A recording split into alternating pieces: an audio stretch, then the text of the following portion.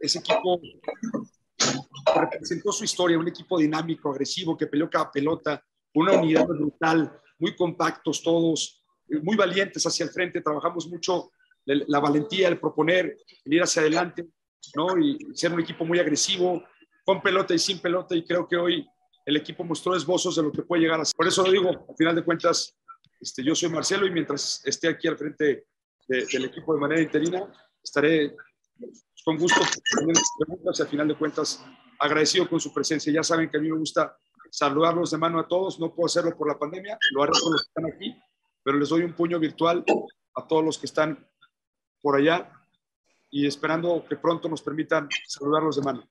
Que Dios los bendiga y que pasen un buen fin de semana. De arriba la chiva.